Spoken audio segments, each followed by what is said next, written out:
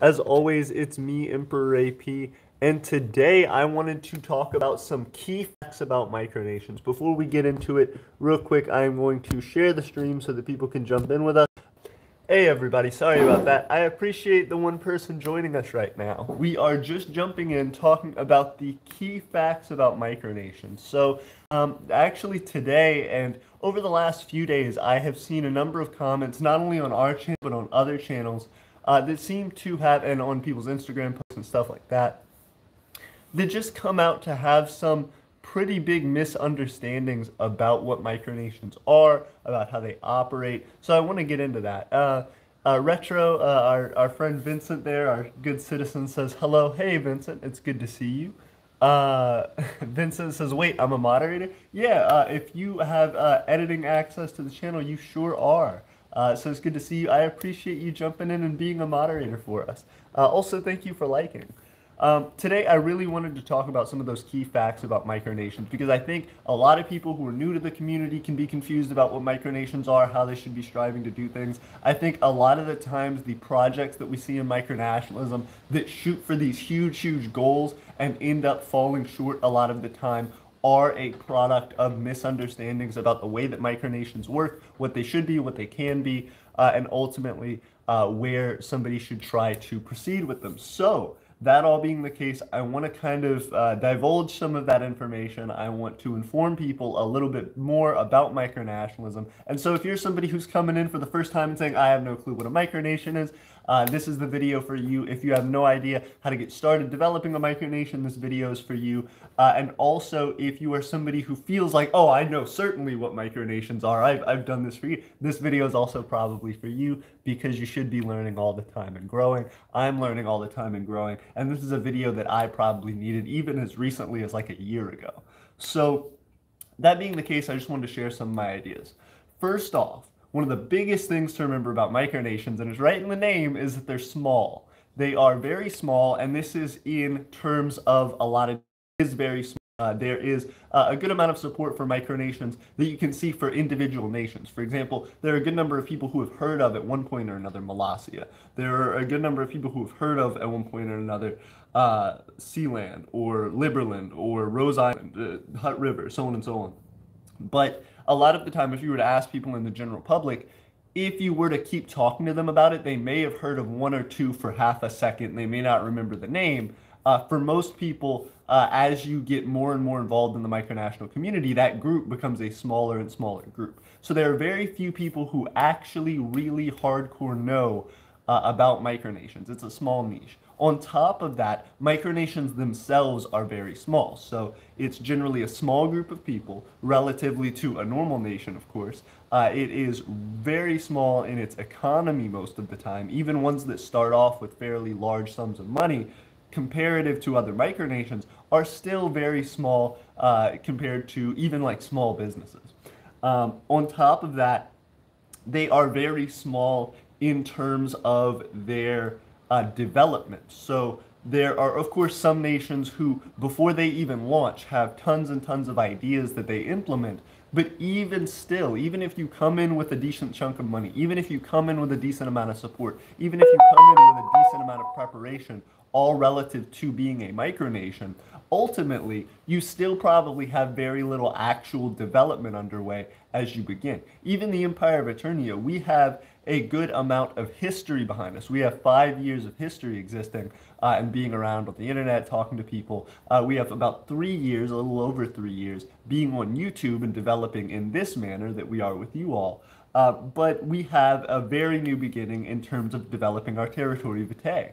Uh, so in all of this, even though we feel like we've been around for a while and we feel like we've been doing a lot, relative to what somebody coming in from outside the community would see, they'd say, "Oh, this is very small. This is very new. This is uh, something that you're you're just starting out, right?" And I think that leads to a big disconnect between what people in the micronational community who have been developing micronations see versus what people on the outside see. And so I want to clarify that for people, one who may be just starting nations and feeling like, oh, well, I'm going to just hit the ground running and, and go crazy with it. And also people who were coming into the community saying, why are all these people talking about these different nations and these different groups and these different things when I haven't seen huge news about nations forming and stuff?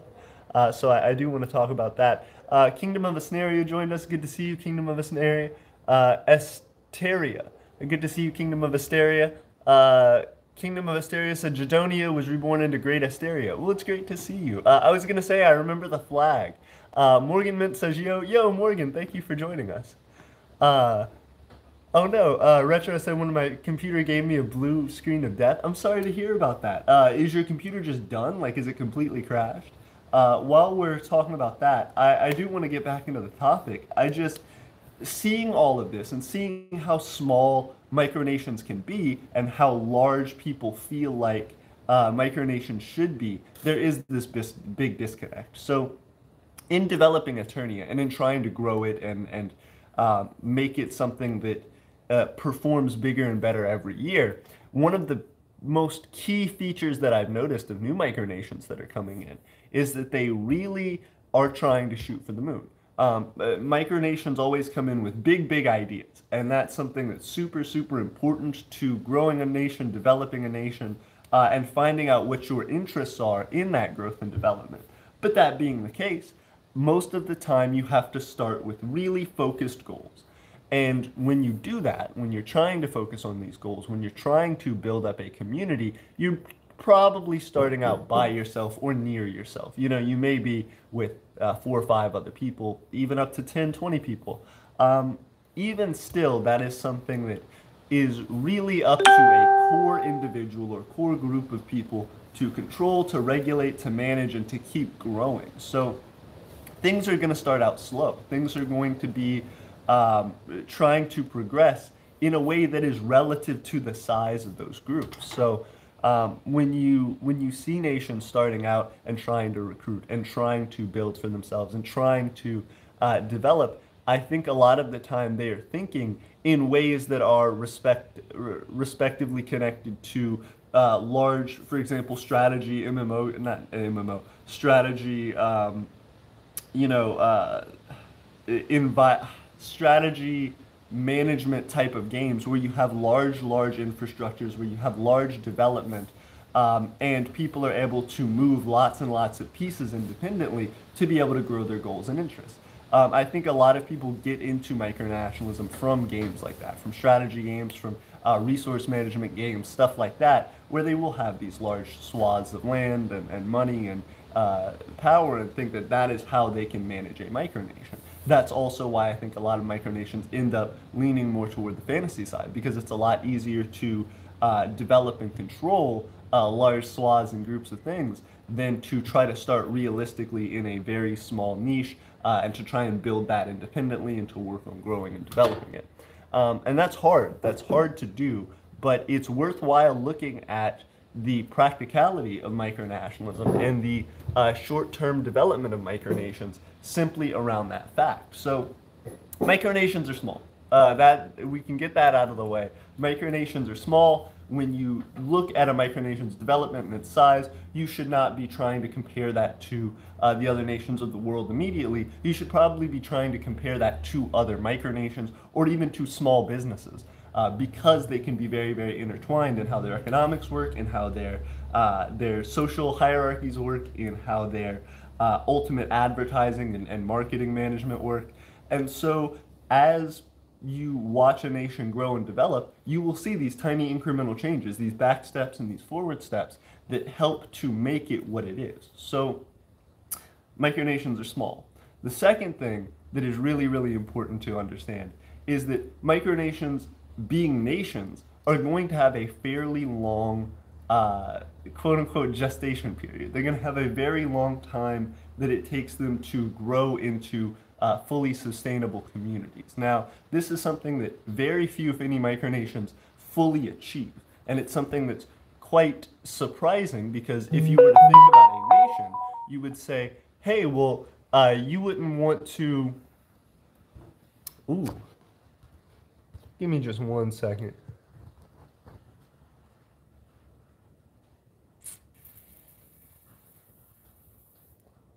Hmm.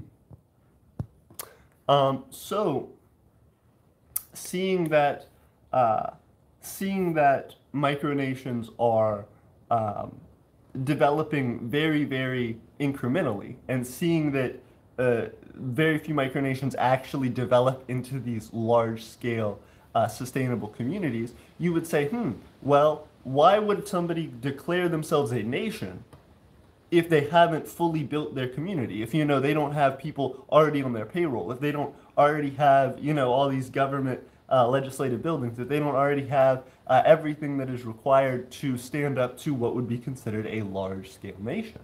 And the reason is because a lot of the time micronationalism is about declaring that, is about moving forward with the idea that you can build a nation, that you can create that, that that is something uh, that can be worked on and managed and fulfilled. Um, and a lot of the time, what a micronation is and the reason that it's defined as a micronation is because it starts with the individual or that small group. It starts from the concept that I can do this. I separate myself and am creating some unique perspective of myself as in a uh, as in a separate society, as in trying to develop a culture for myself and a uh, connection that is different for, for some reason, for some purpose, than the society that I may have been born into. Uh, and so that is a crucial, crucial detail about micronationalism that I think a lot of people forget, uh, or that people uh, who do remember it don't push hard enough. When we're talking about uh, the the growth of a micronation, when you're talking about advertising your micronation, when you're talking about moving forward uh, with a lot of the ideas and plans that you hope to achieve, a lot of the time we feel like oh, okay, well, we just need to market. This is a government. We just need to market. This is, uh, you know, uh, this is something that has uh, this and this cool feature. But we don't start out enough with the culture. We don't start out enough about what sold you as an individual on why it was that you were so different, why it was that you were developing this, why it was that you became your nation's first citizen. And so, I think that's another key fact to remember is that a lot of the time micronationalism starts at the individual level. It starts with a group of people or an individual who are trying to make something different and who initially declare themselves as that micronation. So if micronations are these small scale groups, if they are based around the individual, based around uh, the concept of starting something out, then the growth for a micronation and the purpose for a micronation for a long time, of course, is going to be to convince other people that what they are doing is a nation and what they are doing is uh, is supportable and sustainable, and they have goals which can be uh, can be laid out in a reasonable fashion to achieve larger growth. That's a hard one. That you know, the jump between oh, I'm starting my own nation, look at me, and oh, well, here's all the steps that are required to make a fully fledged, developed community are long, are not, you know, a, straight and narrow path. It's complex. And it's something that is necessary to talk about as micronationalists because I think a lot of the time people start these nations and they do that first step and they say, I'm a nation, this is what we're doing, these are our ideas, these are our uh, laws, this is, uh, these are all of our different um, these are all of our different uh, leaders and uh, governmental positions, for example. And then they say, okay, now now we're done. Now we're we're good. We're running. We're a fully fledged developed community. And a lot of the time that uh, causes some conflict or some disconnect between the way that they see themselves and the way that the rest of the world sees them. And so then there's this question of, well, now how do we how do we continue recruiting? How do we continue growing? Uh, and I think that that stage is where a lot of micronations either fall off or can stagnate because they feel as though I, I don't understand why we're not growing to, to these very large stages. I don't understand why we're not already seeing an influx of people. We have all of the boxes checked. We have all of the things that are necessary to pull people in. Why aren't we pulling people in? And I think it's that marketing problem. And I think it's this disconnect between fundamentally understanding on both sides, from the micronationalist point of view and from the outsider perspective, what a micronation is. When you can really understand that, and when you can talk about these key ideas, it allows you to grow into uh, a marketing campaign and a strategy for understanding who your people are that allows you to easily convey that to others. Uh, first off, I appreciate we have four viewers, five likes, Thank you very much, Gorth, for joining in. Uh, Gorthian Federation says, Hello, AP. Sorry I'm late. You're all good. I appreciate you joining in. Uh, let me jump in and, and listen to uh, some of the comments. Retro says, no, it booted up, thankfully, and would you like me to help answer questions in the chat? Yes, please, I would love that. Retro said, what are some facts micronationalists have to face that they don't want to accept initially? Uh, ooh, that's a great question. So some facts that micronationalists have to face that they don't want to accept initially. Uh, real quick, let me move, because I feel like the window light is messing with me. I don't know if it's getting to you guys, but the change in brightness is a little bit surprising to me. I feel like is, is catching me off guard. Let me move this. Maybe it'll give us a little nicer background.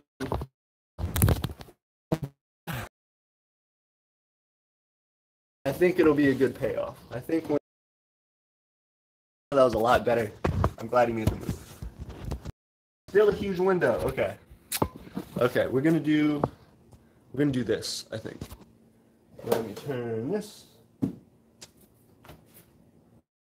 Let me set up this right here. And if I can get some backing to it, that would be perfect. We will do maybe some of these. And that should work. Hey, beautiful. Okay, we got it. I'm sitting down and joining you guys in the conversation. Let's see how well this works. Hey, okay, perfect. I think we're good. Uh, uh, oh gosh. Until I kick it down. Sorry about that. Uh, yes. So, uh, Vincent asked a great question. What are some facts micronationalists have to face that they don't want to accept initially? I would love to make that into a whole video in and of itself, but to give the short and sweet version, again, I think it's a lot of these key facts. Micronations are small. You're going to start out as an individual or a very small group of people, and you want to grow really quickly but you have to develop those internals first. You have to understand why it is that you're doing what you're doing, what sold you on the need, the necessity to become your own thing, why you feel like you're your own thing. You have a separate culture, a separate identity, a separate governmental system to the nation that you were born into, and maybe to the nation that you're trying to pitch other people to support you over. And that is a really difficult task. To develop that takes a long time, and that's the other part of it, is that micronationalists, I don't think, always want to accept that they're not going to be able to just shoot off and become these overnight successes. There are plenty of examples of micronations that have dot, have become fairly well known in you know uh, in history in uh, in modern uh, pop culture. For example, Molossia, for example, Sealand, for example, uh, Rose Island having their own uh, Netflix show uh, or Netflix movie. Those are all examples of communities, you know, even uh, uh, the Conch Republic. all of these are Hutt River. All of these are examples, Atlantium, you know, on Vice. All of these are examples of groups. Liberland. All of these are examples of groups which have had big followings at one point, which have had uh, a large number of people who have supported them, who have had uh, international recognition to some degree or another, uh, and have all, you know, uh, had a decent amount of influx of money because of their status and being well known. I wouldn't say that any of those nations, however, have created communities that would rival any fully accepted nation on earth any macro nation. And you would say, well, oh, that's because, uh, you know, there's no way that a micronation can have like a standing military, and there's no way that uh, a micronation can have uh, the same types of uh, economics and all that. First off, I don't think micronations should have militaries. Whole nother topic. But um, it, as for the rest of it, I think that there are a lot of things that micronations can model after uh, larger nations. But I think there's that misstep. There's that misunderstanding that either one, these groups are not trying to grow into that, which can be a whole thing in and of itself. But for the ones that are, you don't see the connection between where they are and where they need to be in order to get to that point. And that, again, is a long, winding road. That's something that's going to take years and years and years of consistent development and putting all of their funding and effort and resources into that I think for a lot of people, they end up hitting a certain mark on there and then kind of slowing down and saying, well, I'm good. That's that's all I really wanted to achieve. Um, and so that's what the, the facts are, in my opinion, that micronationalists uh, don't want to accept initially. That they're small, that they're not going to be able to grow as quickly as they want to, that making recognition for themselves and getting other people to accept them, become a part of them, uh, or you know, in some way grow their exposure is all about developing who they are before they just try to market that. It's really hard. It's going to take a lot of trial and error. It's going to take a lot of changes. Um, and I would say just not to give up. It's something that uh, you're continually going to need to find better and better ways to establish for yourself. Also, we have five viewers, five likes. I appreciate you guys hanging out with us. Um, and so those are those are some of the larger things that I think are necessary for us to accept, and also necessary for us to understand. Uh, as as another one to add to that, macro nationalists, people who are from uh, most of the other nations around the world who don't know very much or anything about the micronational community, don't understand what we're doing.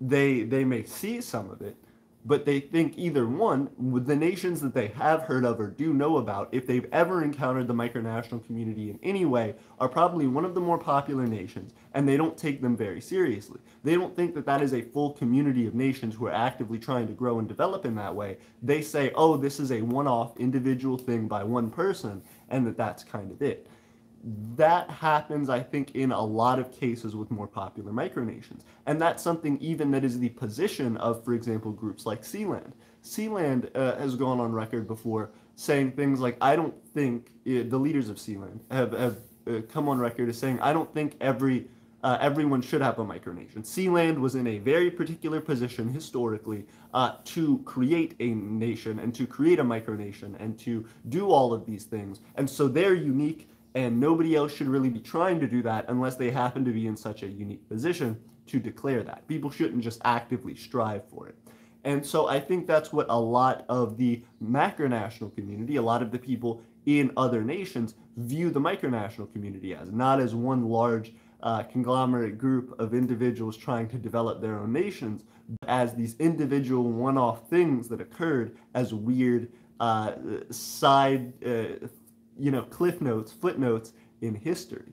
And I think that for us to be able to establish our our nations uh, as a part of that history, and more so to establish our nations with people who may not otherwise know about them and, and care to learn about them, you have to give reasons why, one, you have uh, the value to those people for them to care about you and to learn about you.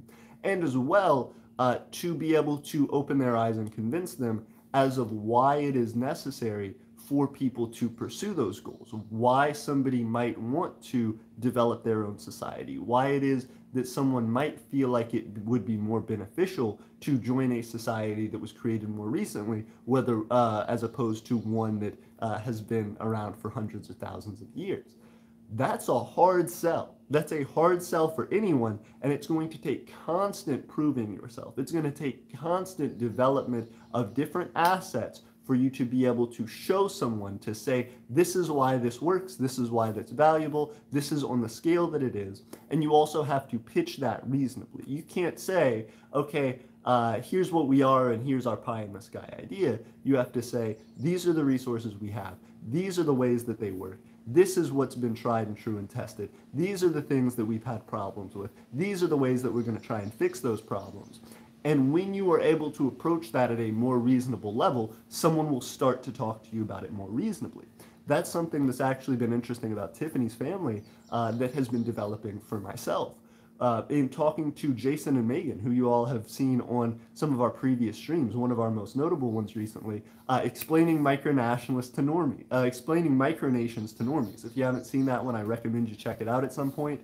But in doing that, I was explaining to Megan and Jason, one, what the micronational community is, why it is what it is, and why I, as an individual personally, would want to develop a nation, and why other people, I believe, would want to develop their own nations, as opposed to joining the regular political system in the country that they're in. Uh, in particular, for the United States, I explained some of those ideas and interests myself, and feeling that there are a lot of people uh, in uh, in younger generations uh, who have come of voting age and who have felt apathy, felt you know not engaged with the political system, not felt that their vote really mattered, not felt that you know they could make large scale sweeping change or that they would have to push back so hard against the system to make large scale sweeping change that they would make very small incremental amounts of change. And so their time may be better invested in other places. And eventually if you do continue to talk to people about that it starts to click. It starts to make sense to those people. They start to see reasons and benefits as to why that would happen, so long as you can explain it in a logical manner. And if someone asks you a question and it's difficult and it, uh, you know, has a, you know, it, you can give reasonable, uh, coherent answers to that, it helps to establish a trust and it helps to establish uh, the sincerity of what you're doing. But if you don't have those ideas thought out, if you can't point out the flaws in your own nation and the limitations that you have, especially from a uh, an outsider's point of view, then you are going to have a very hard time ever selling that to them. Because if you just tell people, "Oh, don't worry, it'll all just work out," that's not what people invest their time and money in. You have to think that if you're developing a nation, in the sense that you hope that your micronation develops into a nation uh, true to form to any other nation on earth the US, the UK, uh, South Africa, Australia, whatever, France, you have to say, I then understand that people are going to commit their finances, uh, their living situation, their you know family's future to supporting this. And so I have to make it reasonable and safe for them to do so. And every step of the way, I have to give more assets and more benefits and more security measures to make sure that that's going to be a safe investment for them. And if not, you need to have clear and uh, defined explanations of what those risks are associated as and how you are trying to actively improve those. Um, a lot of micronationalists don't want to touch that side of things. They say, you know, that's not really something we're interested in developing. That's a little too far. Uh, but we still think we're going to become a full fledged nation. We're going to do all of these things. And they, they want to have that disconnect stay true and uh, between what macronationalists think and what micronationalists think. And you have to bridge that gap in order to get any forward progress. Um, Retro said, Welcome, Gorth. Uh, thanks for welcoming everybody, Vincent. Uh, Gore says, My ally is getting overthrown by anarchists. I'm not sure how to help. Um, I don't think that's really a thing. We, we have a talk about that as well. Uh, your micronation can't really get overthrown unless you decide to have it overthrown. People can leave, and that's always an option, and it should be. Uh, but if anybody is trying to overthrow somebody else's micronation, really what they're doing is trolling, and you can either ignore them uh, or you can, you know, block them and ban them uh, and try to just get them away from your community. Um, Vincent said, uh, "What do you think you should do? You can't really fight rebels, so what could you do? Uh, block them and ignore them." Uh, Gore says, "I have no idea. Uh, they also live in Scotland, and I'm in England. You can block and ignore them." Uh, ooh, Psycholdia says, "Hi, AP. Hey, it's good to see you, Psycholdia. I'm glad to see you." Uh, she asks, "How are you?" I'm doing good. Again, we are talking about the basic key ideas that micronationalists need to understand, that people in general need to understand about micronations. And so uh, Vincent brought up a great question, which I was just responding to, which is why it is, um, why it is uh, that what it is that some micronationalists need to accept that they may not accept initially. Uh, and that was a great question. Um, hey, Real Novice, thank you so much for following us on Twitter. I would be excited to uh, see more from you and from your nation. But until then, uh, thank you so much for following us. Retro says, if I'm not wrong, Sealand was trying to make their own nation because the British government wouldn't let them broadcast their news channel, so they wanted to make a nation based on, uh, based so they can do that. Uh, I agree, uh, 100%. Uh, and that's something that's really interesting. Them having this whole run-in with the British government, and the British government effectively saying when they kidnapped, you know, uh, German citizens who were trying to invade them effectively uh, and forcing the German government to come and speak to them, they feel like, oh, well, that's unique. You know, because we were so far out of British territory, uh, we had the advantage and the ability to. Um, uh, to be situated at a point where we had to bring these na- na- nations to the, the talking table. You know, uh, they had to sit down with us and treat us in some respects as an equal in order to be able to get what they wanted. We kind of forced their hand, and that was a unique position in history, and nobody else really has that. I would say, while I definitely agree that that was a particularly unique point in history, that that was something that uh, gave them, you know, if they weren't in the right place at the right time, they wouldn't have had that opportunity. I don't think that that's impossible to repeat again. Uh, people are able to easily, you know, do things like seasteading, where they create boats, uh, they go out into the middle of the ocean, and they start to develop things. Um, you know, there are plenty of ways as well, just economically, uh, to gain a lot of political power and influence. Uh, this works really well in the United States, where there are corporations, for example, who pay very little or no tax in the United States because of loopholes that they use, uh, because of different regulations they use, and because of political lobbying that they have under their control.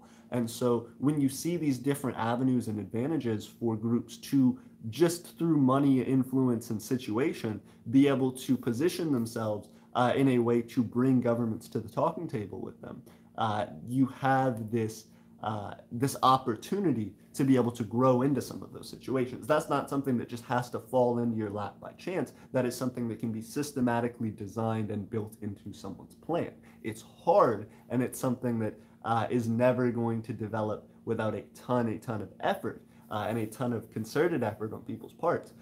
But regardless of that, it is still really necessary for us to continue to explain that to micronationalists and for us to continue to try and show that to everyone else that micronations may be small, they may take a long time to develop, they may be uh, something that starts at an individual level, but nonetheless, as long as they identify themselves as nations, as long as they work to make themselves more and more appealing to mass audience, and as long as they try to uh, focus their interests into something that can be small scale achievable goals uh, for their for their size um, that they can design a certain plan to get there one day.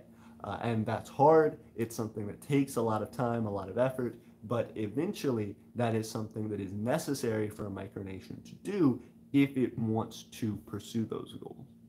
Um, Vincent said, I'm doing all right, Miss Psycholia. Uh, Josh says, What do you think of micronations with no populations but are created as a political statement or experiment? Uh, Josh, I think that's perfectly fine. Um, there are plenty of micronations that develop. Um, again, uh, there there are some blurred lines between even my own classification for micronations. Uh, some people like to call micronations who aren't developing to become real nations uh, simulationists, for example. Uh, I don't really like that term because it, it implies that it is just like a um, uh, just like a game to some extent. I have developed the terms realist versus fantasy nations, which describe nations who are either actively pursuing becoming a real uh, nation, uh, equivalent to other nations in the world, or fantasy nations, um, nations who are doing things and developing things based around their own uh, bubble, their own idea of, well, we can create any infrastructure necessary internally to give the appearance, guidance, and um, and setup for people to operate as though they were their own uh, their own nation or their own groups of nations or their own you know whatever scale they want to be at, their own economies. But that that only exists within this bubble that the micronation has created. That if you were to try and step outside of that and to focus in on what exactly uh, is their relationship with other micronations or what exactly is their relationship with the macronations around them, that the way that they view themselves quickly deteriorates uh, because it does not have any basis in a, a larger connection to the world. And that's, in my definition, the difference between a realist versus fantasy nation. So I would say that those nations, in my opinion, would be categorized as fantasy nations, but there's nothing wrong with that. That being a fantasy nation doesn't mean you're a fake nation. That doesn't mean that uh, you can't legitimately identify as a nation. You can't go out to people and say, I am, uh, I am a citizen of thus and thus nation, and that we do thus and thus thing. But that your goals, that the goals that you're trying to achieve are not for the purpose of developing a nation that is like every other nation in the world that that is not something that ever is of your interest that that's not something that you're pursuing as an end result whereas nations that are realist that is their end result And I would say that there are some fantasy nations, uh, some you know, simulationist nations, some uh, you know uh, political experiments, whatever you'd like to call them, that do a lot better in what they're trying to do than realist nations. If you compare the effectiveness of realist nations versus fantasy nations, a lot of the time you will find that fantasy nations, for what they are trying to do, do a lot better than realist nations. There are plenty of fantasy nations uh, that even have better coordination, organization, uh, better connection to their community than realist nations do, uh, realist micronations. And that is a tough pill to swallow, I think, for a lot of realist micronations, is that, you know, uh, some realist micronations have the express intent to become full-scale nations, uh, you know, and join the UN and become recognized by uh, other world politicians and things like that, but yet operate primarily in a fantasy realm. They they operate primarily in a way that is not aligned with the goal that they set. And so, by that definition, they would be really bad at doing that because all of their efforts are not steering toward a trajectory that would lead them to their ultimate goal.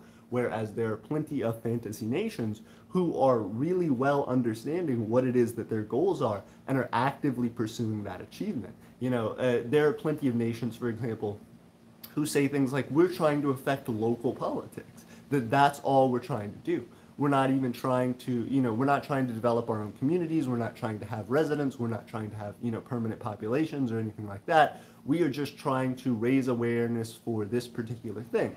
Uh, for example, a, a, lot of micronations, uh, on top of, you know, local politics, a lot of micronations uh, support specific, um, specific causes. For example, climate change. For example, uh, you know, animal rights, things like that.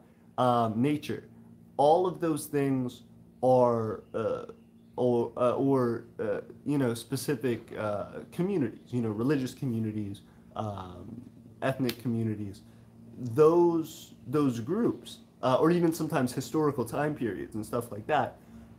All of those groups are well understanding their goals and a lot of the time are going out of their way to achieve those goals and to try and forward progress in what they want to do and they're very good at it uh, so I think that's something that should be really well understood as well.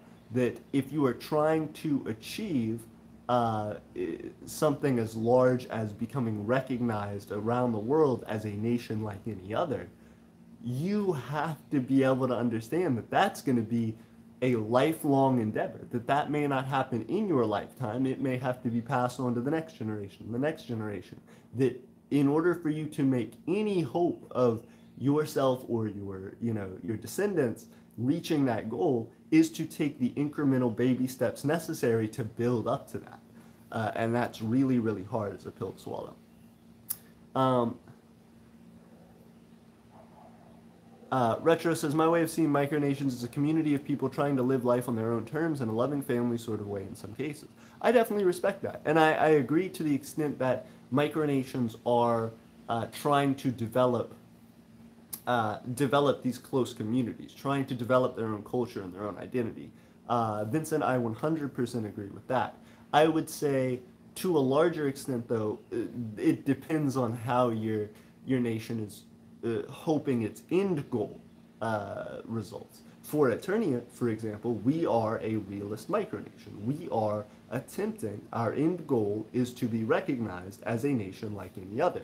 We are hoping uh, to be able to build to the point that, again, probably not in my lifetime, uh, but in some uh, future generations, uh, that we can be applying to the UN, that we can be uh, working with, uh, you know, not only our own citizens across the world and our own permanent population and residents in our territories, but also to be able to achieve a specific level of economic and technological development that encourages and incentivizes macronations to work with us and to build ties with us and to have official declared uh, connections to us through trade agreements, through uh, you know, uh, through specific policy measures, through joint action and specific circumstances. Um, those are the things that Aeternia strives for. That is the idea that we are pushing for. And that's something that's far off. So, what we have to say in developing that is that this is going to be something incremental. This is something that is going to take generations more likely to achieve. Uh, this is something that we are going to have to develop as a um, as a process which builds from the local community first. This is something that uh, has to pull in a lot of very talented people with great ideas to be able to make into something that can um, that can achieve what we um, you you can't uh, say uh, a small group of people all of a sudden going to be recognized by the UN given no historical precedent for it you have to create that historical precedent. You have to define value and reason enough for those nations to say this this is by all means uh, valuable and, and, considered a nation. Even groups like Taiwan uh, with China uh, have an incredibly difficult time uh, re- receiving validation as a nation because China is so hard pressed against that happening. Um, Taiwan has a flourishing economy. They have trade deals with many, many other nations around the world. They are recognized by many other nations around the world. They are on many maps and many, uh, you know, connections to other countries as their own country. They have diplomats that go around the world and talk to other world leaders. And yet, they are still unable to join the UN because China has such a strong influence over the UN and because uh, of their specific encouragement against groups supporting Taiwan. Um, and so that being the case, this is something that is huge in terms of uh, in terms of political development, where when you see something like that happen, you know there is a long way to go. When a, a country with hundreds of years of history, uh, a country that uh, you know is actively striving for something uh, and has good legitimate claim to it historically, when they struggle to get it in the modern day, you know micronations are going to have a tough time. But that means you have to strive every single day. That means you cannot give up. That means that there have to be specific uh, steps that you are taking in order to achieve that. Um, Retro says, What is Aeternia's most recognizable cultural identity? Uh, that's a great question. So, uh, if you're talking about our most recognizable um, uh, our most recognizable cultural trait? I would say that that's uh, that's a, a, quite interesting question. I think for us, it's probably connected to our technological endeavors. Uh, Aeternia as a uh, as a connection to this community has always been one that pushes for economy and technology. Um, those two traits are something which is foundational, I believe, to every Aeternian. Everybody that I've talked to uh, who is trying to uh, become an Aeternian or who has become an Aeternian understands that we are trying to develop technologically. We have already done this and tie that to our economy. Uh, we've already done this with our uh, uh, with our arc furnace. We've already done this uh, with trying to develop our solar power and things like that that is the way that Aeternia feels it can pursue and quickly pursue its independence uh, with respect to the rest of the world. Uh, that doesn't mean secession. That means uh, trying to further the the notion that Aeternia, in other people's eyes, is its own thing. Uh, that allows us, you know, economic freedom. Technology is at the heart of Aeternia, and any Aeternian will tell you that. This is something that is crucial to our way of life as a people, trying to look for methods, whether it's connection through the internet, which has been a core staple of Aeternia ever since its beginning, uh, connection to our community and people around the world who consider themselves Aeternians uh, through modern means, uh, as well as all the way up to our economic endeavors with the arc furnace, with the solar power, with automation technologies, with my pursuance of uh, a degree uh, in a STEM field and encouragement of others uh, to pursue STEM fields and to uh, pursue connection to these uh, um, these uh, methods for us to achieve our goals. All of our goals are seen through the lens of modern technology, and therefore, our pursuance of those goals is fundamentally based on that. And that, that's what I would say is one of Aeternia's, or potentially its most defining characteristic, is that uh, we believe we are justified in our way forward in becoming a, a nation, and that we identify as a nation because of our connection to this belief that technology and its um, and its equalization of people can allow us a step up and an advantage even over those macro nations around us to be able to achieve what we want to. In hyper focusing on technology and hyper focusing on its uh, allowance for us to develop quickly, we can achieve almost anything we want. Um, it's difficult, it's still a long way to go, but from an individual starting out three years ago to now having uh, several citizens, uh, I think 10 or 12 citizens now, who are actively contributing to the Empire of Aeternia, who are supporting us in some way every single day, whether it's through our Patreon, whether it is through creating content for us, whether it's being here like you, Vincent, uh, and doing more or less uh, all three. Uh, there are people who are actively engaged in advancing that technological effort that Aeternia is a part of. Uh, even through just our Discord, uh, our Discord uh, channels and through that avenue.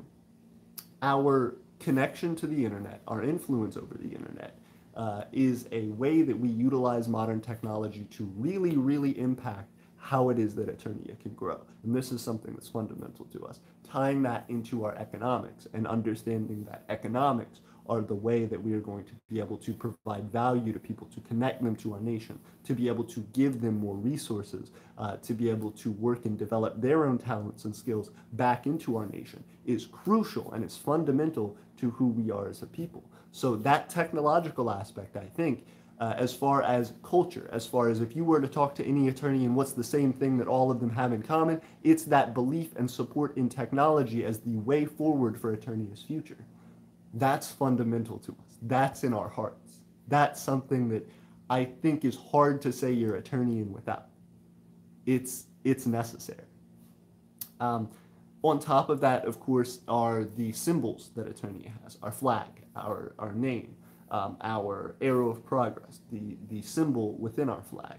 All of those harken back to this idea of uh, connection uh, through uh, common beliefs, connection through the idea that uh, there is a, um, a, a group of people who are justified who are the right people for the job, who uh, can achieve despite all odds. That's with the story of Odysseus uh, in the uh, in the arrow of progress. The arrow of progress, if you all don't know, is the symbol in the middle of our flag. It's an arrow going through the eye of an axe head um, the where you would place a, a hook for uh, an axe if you were to hang it up. Um, that being the case, it harkens back to the tale of Odysseus, where Odysseus comes back from war uh, and realizes that his uh, country, his kingdom, is being uh, taken over by suitors who are trying to marry his wife, assuming that he is dead. So Odysseus's wife uh, gives a challenge to all the suitors and says, "Hey, if you can string Odysseus's bow and shoot it through uh, I think it's 10 or 12 axe heads or something like that, um, uh, through the eye of 10 or 12 axe heads, a uh, small hole for, for hanging them up, that you can um, uh, that you can claim the throne. Nobody is even able to string his bow. None of the other suitors are even able to get the first step down. Odysseus sneaks in, disguised, strings the bow easily, shoots through all of the uh, axe heads in one shot, uh, and then uh, reclaims the throne. Ends up killing all of the other suitors, which is a, a separate part of that, but um, uh, that's that's disconnected to our interests. But that idea that there is a special person for the job, that there is a vision, that it takes a really, really concerted effort, that it takes doing the right thing at the right time in the right place to make those conditions occur to achieve that goal. And that it is, Uh, in all respects, an incredibly difficult goal that people try and try and try and they don't get it. And one comes along and does it. We believe we are those people. We believe through the focus on technology and through its ability to allow prosperity economically and socially for our people, that we can be the ones to achieve ascendance into macronationalism, that we can't become a nation like all others and earn our seat at the table because we will not stop pursuing it, because we will pursue, with constant focus effort our development of technology. And technology is a place that we can easily compete in. It's still difficult, it's still a long journey, but comparative to almost any other method of trying to gain support and trying to maintain that support, technology is a way that we can truly prosper and truly create a foundation that allows our future generations to keep fighting for that goal. So uh, each of these goals that we have, each of these checkpoints, each of these you know things that we require in order to uh, to achieve that ultimate goal is the stringing of the bow. It is the uh, flying through each, uh, the arrow going through each of the individual axes. If it was curved too much, if its path was slightly off, it would have hit one of the axes. It would have uh, stopped in its path somewhere along the way, but it didn't. It went all the way through to the other side. And while this is just a myth, while this is just a tale, uh, it, you know, it's still uh, a tale by Homer. It's still uh, an incredible story and one that uh, I think, as a parable to us, uh, really connects to this uh, this metaphor uh, for, or not metaphor, this this I guess mentality for us that we are trying to achieve. That we are the people to push through via technology to achieve that goal. Um, that's a great question, Vincent. Josh says, don't want to hijack your live, but would it be possible for you to tell me uh, what you think of my micronation Princia on MicroWiki? Uh, at another point, absolutely. So we are hoping to do in the future uh, when I can gather some um, some confirmed hosts for it, some uh, uh, featured judges, that uh, we will be doing a um, a micronational Shark Tank where we want to get a whole bunch of micronations together who uh, want to have their nation and its concept reviewed, and they will pitch it to us on a live stream. Uh, these different micronationalists and I will be reviewing those, talking about if we didn't have our own micronations and we were just learning about these nations for the first time, would we become citizens of them? Why or why not? What are the benefits? What are the flaws uh, in the plans, and how they move forward? Okay, Retro says, so using green energy is a part of our culture. All right, I'd say purple is a part of our culture as well, as you wear a purple shirt as your official outfit. Uh, how I wear purple bandana, uh, that's culture. I 100% agree. Uh, the purple on our flag absolutely represents our culture. I completely agree. Um, that that purple is a huge part of it, and I think what's actually interesting is my my current outfit uh, right now, I'm actually wearing a purple shirt. Uh, it's light purple. It's slightly different from our colors. But my outfit actually is a uh, red ascot with a green jacket uh, and uh, no purple on it at all, uh, which is is interesting. red is also another one of our colors. It's on our currency, um, and so that that red is a part of you know the the spirit, the blood of Aeternia, so to speak. But that purple is absolutely foundation to, foundational to who we are. Uh, it's unique. It uh, is distinctive. Not many micronations or many nations across the world uh, use purple as a part of their uh, identification. And so purple really makes us stand out. That, again, is a part of separating ourselves from the crowd, a, a part of saying we are uh, the the people to to achieve this goal. We are unique. Look at us. There is something that is different and distinctive about us. So I 100% agree, and I appreciate you incorporating the purple into your outfit, Vincent. Uh, that is an incredibly big part of who we are. Now, once again, I currently don't have purple connected to uh, our uh, our culture, uh, to my. It is a part of our culture. It isn't a part of my personal outfit for formal affairs but I want it to become more and more a part of that. Uh, actually, in the design for our Microcon outfits, uh, I have incorporated significantly more purple. Um, but that, that's a great thing. And again, I, I appreciate that. One of the things uh, that is another part of the culture that I've been developing personally that I want to show off more and more, if I can do it while here, are these. These are leg wraps. These are something that I have done, and actually, if I take my shoe off, I can show you as well uh, these leg wraps connect all the way down as like a sock on my foot. Uh, I wrap them all the way from the bottom of my foot up, uh, all the way up and around my uh, my pants, and connect them. Um, I personally think I'm going to start incorporating incorporating that more and more into my everyday outfit, again to be distinctive and unique. Uh, I may end up getting some in purple and wearing them in purple uh, and having that again as another characteristic trait. I would hope that if we can get this to become a large enough and interesting part of our community, that we can have everyday citizens, people more and more across the globe wearing these uh, these leg wraps as again another identifying feature of an Aeternian. So that if you see somebody walking around with these leg wraps above their pants, that you can guarantee more than likely they're an Aeternian. Not to say that everybody who wears leg wraps is going to be an Aeternian, but that that is a defining characteristic of Aeternians. Uh, whether they are in full regal outfits or not, that uh, you are going to see uh, them, even in casual wear like I am now, still uh, wearing those leg wraps as just a part of who they are, as part of their identity and their culture. Um, and so I want to continue to work on that. I want to continue to understand uh, more about the ways that we can identify uh, and connect our culture and, and our purpose to the way that we look to people, to the way that we present ourselves, not only in micronational uh, community situations, but also in everyday life. I think that's a huge part of making ourselves stand out and really pushing that this is serious to us. This is what we want, and this is the way that we uh, we culturally connect to our people uh, and the way that we present ourselves to outsiders. Um, Gorth says, if Aeternia did get into the UN, would the territory be the only current land, or would it be a larger nation?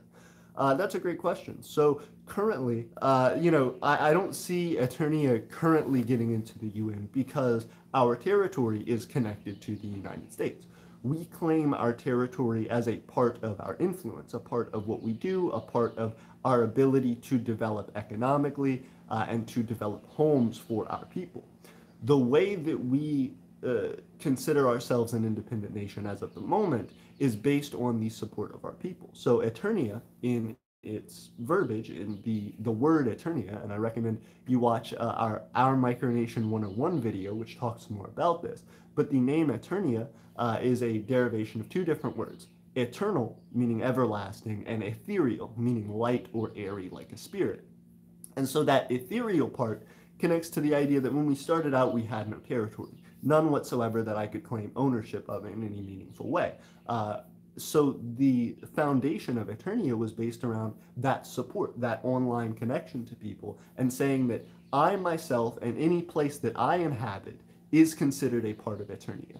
That I, as a resident, as a as a citizen of Aeternia, represent myself and the land right below my feet. You know, unless you're going to move me, and then the step behind me is, and so on and so forth, as Aeternia. That is Aeternia. I am Aeternia. And so when there are other people around the world, tens of people, hundreds of people, thousands of people around the world who start to say, I am an Aeternian, that is a, a significant amount of land. That is a significant amount of support uh, that is claimed. That doesn't mean that we can go out and start using that land to mine resources and to build buildings and stuff like that. That is where our territories come into play but that nonetheless is a part of our empire. A huge part of our community are those citizens, whether they are citizens who connect to us via uh, via Discord, whether that's our citizens that are able to be here in person and work with us uh, on our territory. Those are all still people who go out into their daily lives and say, I'm an Aeternian, and that has a huge effect. So I think uh, part of our big claim right now, if you know the UN were to knock on my door and say, "Hey, uh, we heard a little bit about you. Give us your, your elevator pitch right now. I would have to say that it starts out with those people, that population around the world who supports us and says that they are Aeternians, wherever they are. On top of that, we do have our territory. Our territory is something that was purchased in the state of Alabama in the United States. So uh, we do have to separate culturally and identi- uh, in our identity uh, our territory from the rest of the United States, and we do that by posting signage, by um, you know having this property attached to myself and attached to our LLC, which is uh, the Empire of Aeternia in the state of Alabama, and saying that we are using that for residents, uh, for citizens to have residence uh, and a place to live that is independent and separate. That being the case, though, we still have to pay taxes to the United States on that territory. We still have to operate under U.S. law in that territory.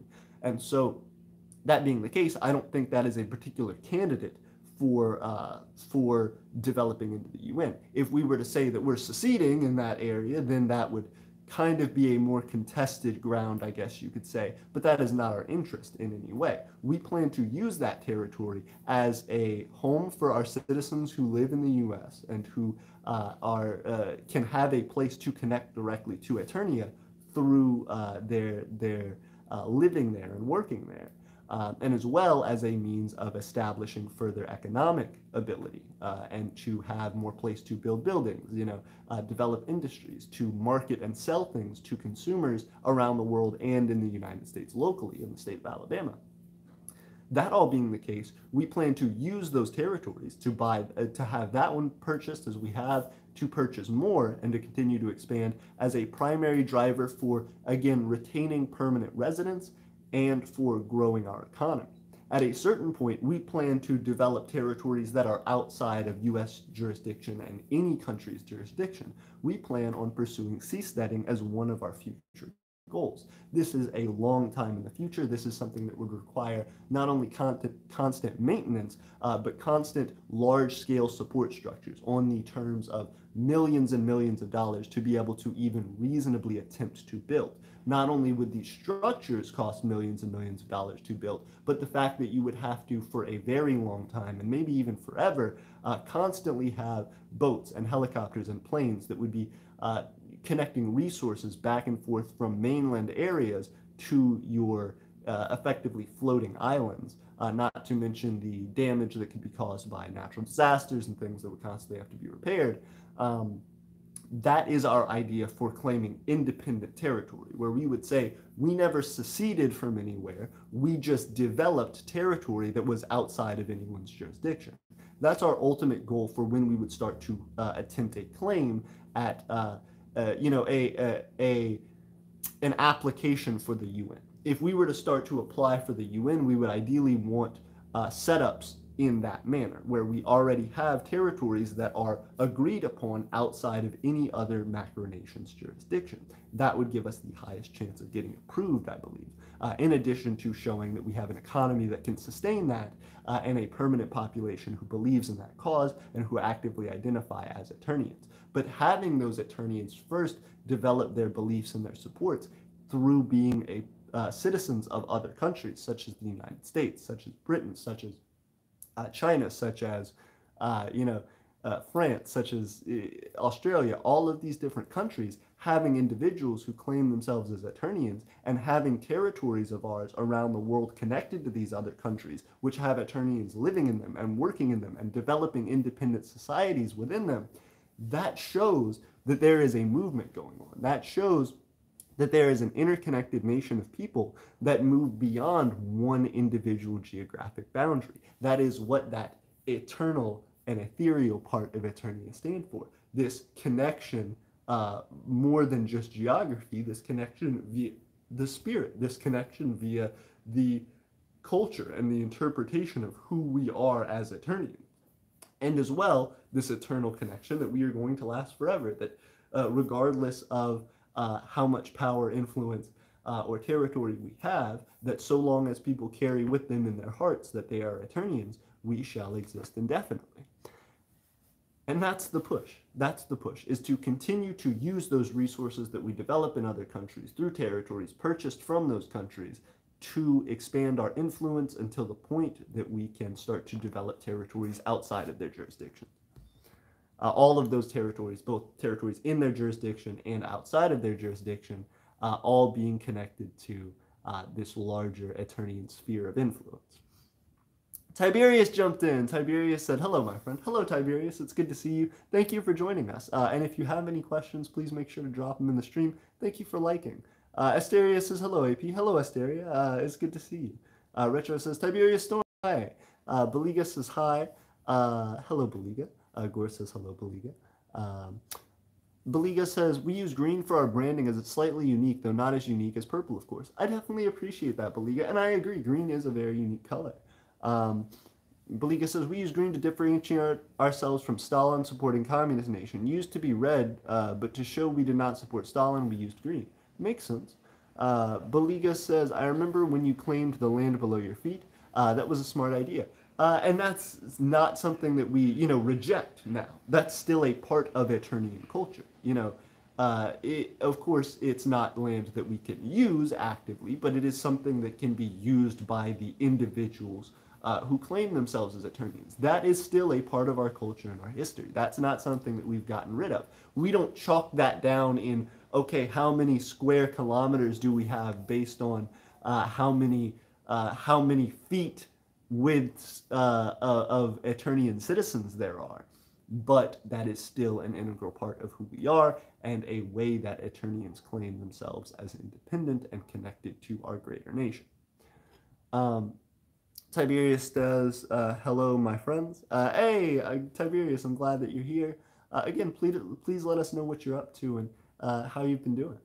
Um, it, again, I feel like that that connection and that uh, setup as a part of who we are as a people is really, really important. And going back to the larger things that people need to understand about micronations is that even the most successful and most consistent micronations are always going to be developing based around that concept that they are not there yet, but they identify themselves as nations nonetheless. That this is something that uh, is defined by the individual, and then that individual seeks to expand to include others' support. Let's see. Uh, Tiberius says, uh, My belief is that the definition of a sovereign state will evolve as low lying nations succumb to water rise. Uh, I agree with that as well. Tiberius says micros have a foothold, so to speak. I agree.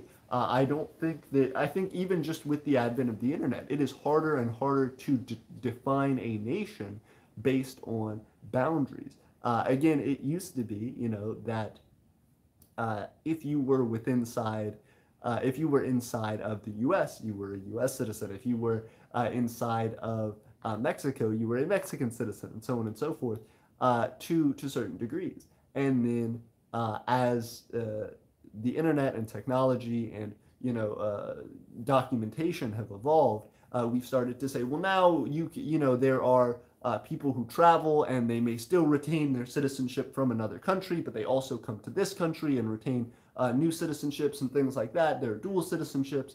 Um, even just community groups through the internet uh, have really, really shown that nations do not have to be defined by geographic borders. And I think that's becoming stronger and stronger and more inherent, especially as we get into space travel, especially as we get into uh, you know, uh, further development of the internet and virtual spaces and things like that um, with VR and augmented reality, I think that line is getting more and more blurred as technology develops as well.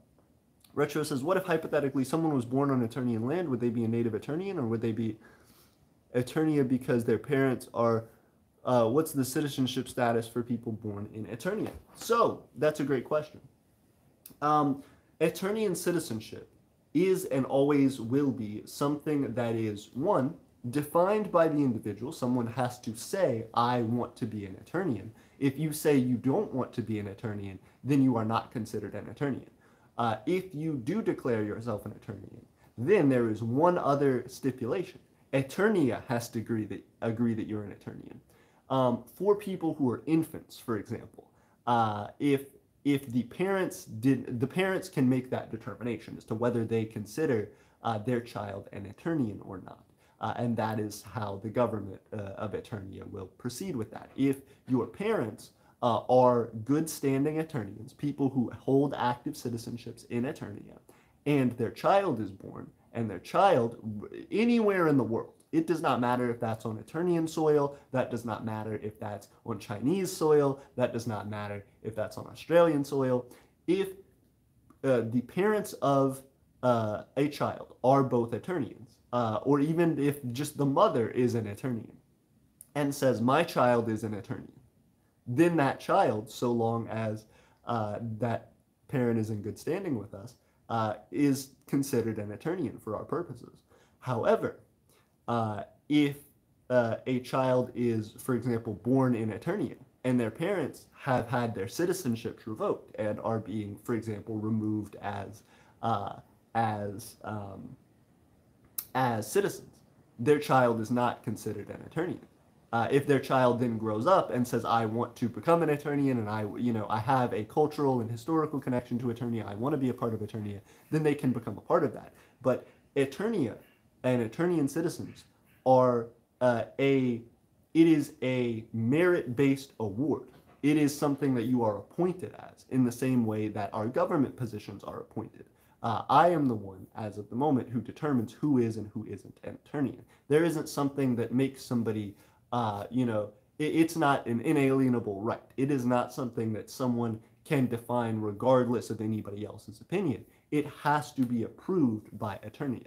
At any point, anyone who was born in Aeternia can have their citizenship and their Aeternian identity removed by the government. At any point, anyone who has no historical connection to Aeternia can be appointed an Aeternian citizenship and identity.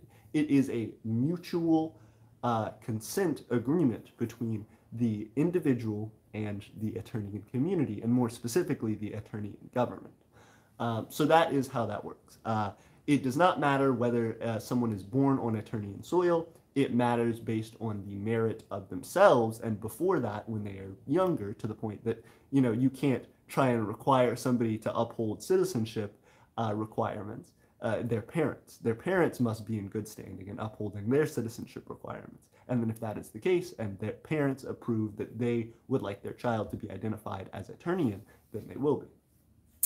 Uh, i hope that answers your question Tiberius says, I agree. I'm speaking directly to current UN registration requirements as having land. Uh, very cool. Absolutely. Um, and I, I agree. I think that, yes, that will over time become more and more lax. Uh, President, uh, but I still think it'll be weird because uh, nations' political influence, I think, will uh, always take precedent over uh, any any. I, I don't think they'll change the rules very much. I think it'll just be more or less. Some nations will have to adhere more strongly to those rules. Some nations will have to adhere less strongly to those rules based on the nations that want them in or not. Uh, President Beliga says, cool. Uh, Asteria says, hello, Emperor AP. How much uh, land does Aeternia own? As of right now, uh, it is 3.5 acres. Uh, that's a great question, Asteria. Uh, Vincent got it very close and essentially correct. Three acres. It's 3.5 acres. Uh, again, one of the things we have to do as soon as possibly can, but it's actually a few things down our list as of the moment, uh, is to get a land survey. That land survey is probably going to cost us around $2,000 or so. Uh, so we have a few things that we need to achieve before then. Uh, one of which is most uh, most recently and most uh, frequently, we need to most quickly, we need to gain some chert uh, some gravel for us to be able to create a, uh, a driveway for ourselves to be able to park larger vehicles on the land and to keep them there permanently, as well as, and to increase access to the land for multiple vehicles, uh, as well as getting a culvert uh, to be able to extend that driveway out to the road uh, and to make sure that that is uh, meeting all legal requirements from our local county. but yes, three acres is, three and a half acres is, is the correct amount.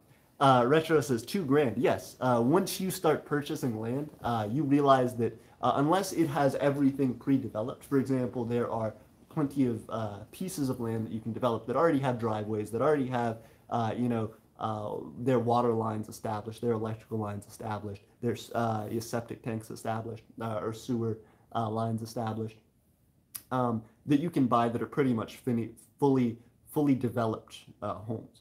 However, the land that Aeternia purchased is completely undeveloped, which means there is no driveway, there are no, uh, in fact, there are no water lines to a city whatsoever. There is no infrastructure developed out there at all. We can get electrical from an electric company that is nearby. We can have electrical lines run out there. And in fact, there are electrical lines on the road that we're on. So we're safe there.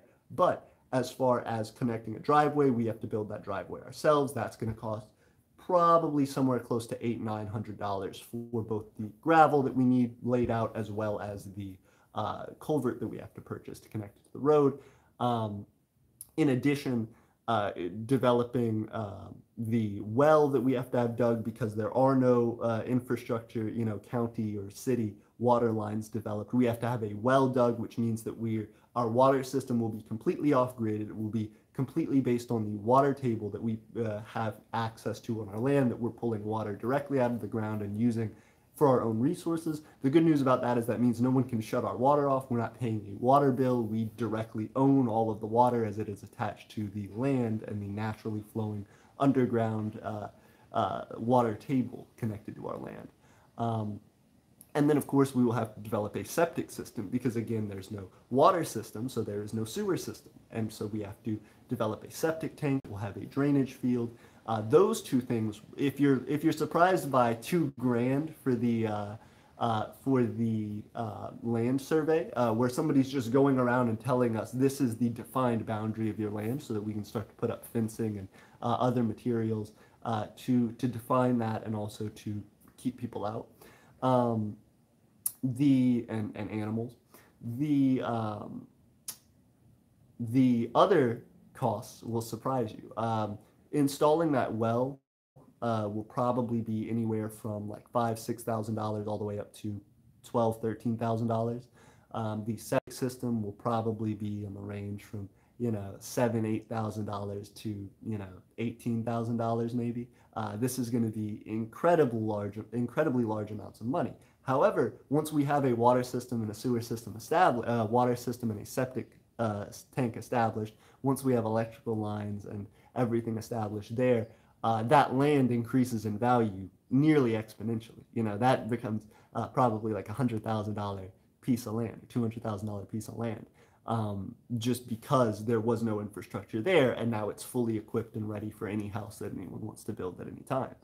Um, so it's a, a nice investment. Um, Kingdom of Great Asteria says, how does one create a legal currency? That is a great question. And we actually have a previous video that I would refer you to talking about a money transmitter's license. If you look up uh, money transmitter's license, if you look up, you know, Aeternia, micronation currency, money transmitter's license, something like that, you should see our video pop up.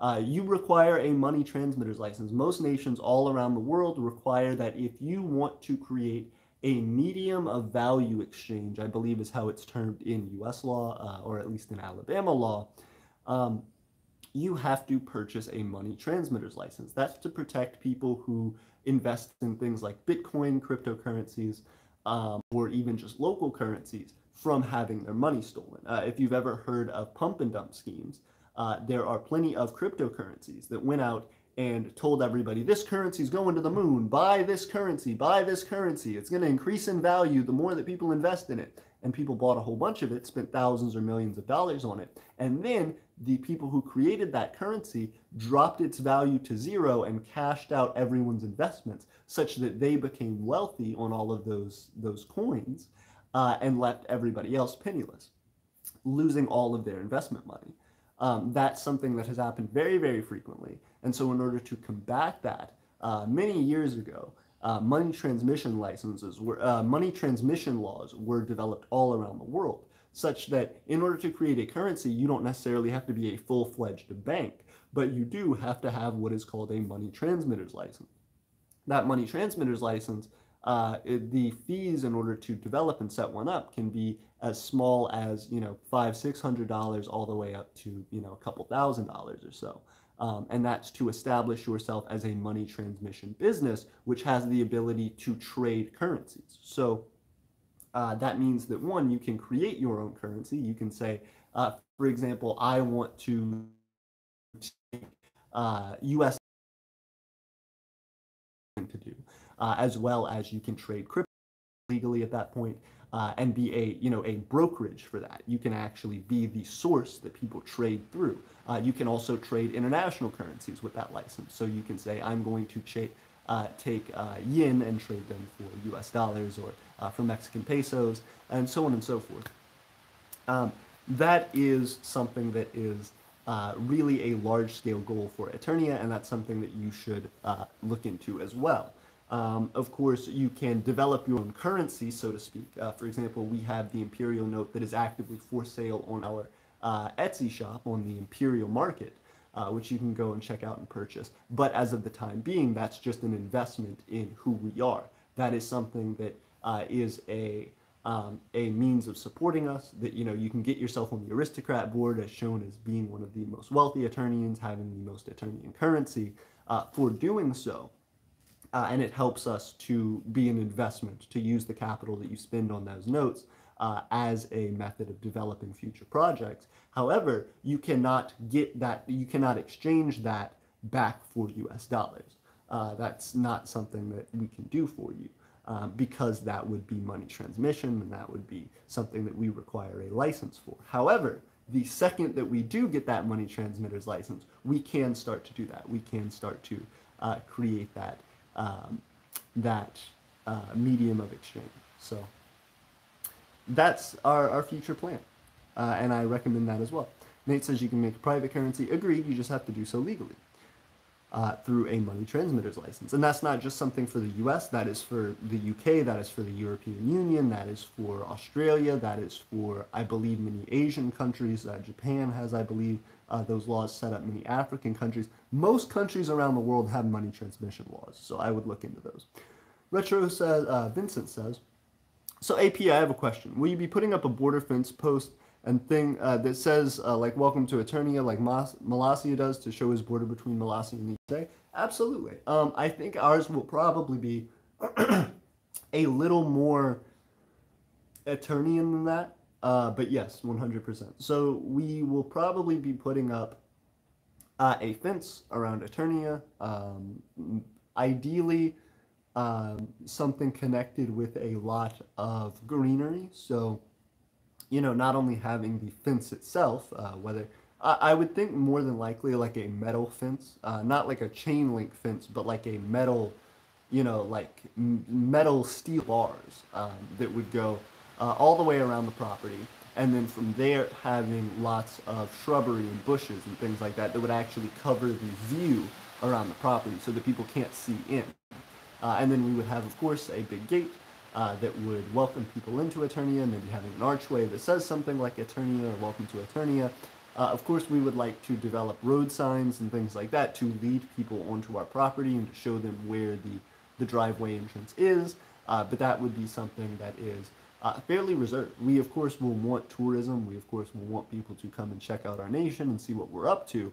Uh, but that will be on a, you know, uh, a pre-selected visitor basis. Uh, we will have to approve people to actually come onto the property and to learn about us and to document us and to work with us because other than that we will be developing our industries we will be you know developing people's residency there so people actually living and working there is a part of their full life so uh, we don't want to make that something that uh, feels uh, too intrusive, where we have you know lots and lots of people just coming in and, and kind of invading into our residents' lives. We we want to make sure that that's kept limited and uh, that uh, people are made well aware that you know this is uh, th- this is when tourism will occur. These are you know the locations that tourists will be able to visit. You know these are the places that they won't be able to visit.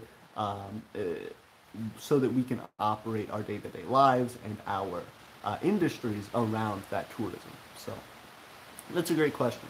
Tiberius says we planted a flag on each of our properties but removed them over time. We use one for our home, one for our income, uh, and one as undetermined yet. But it's a wooded development, uh, but it's wooded in a homes only HOA development. Oh, I'm sorry to hear about that. That's rough. Uh, I hate homeowners associations. Uh, they, it's ironic. Homeowners associations act very similarly to uh, micronational governments in the fact that they want to control everything.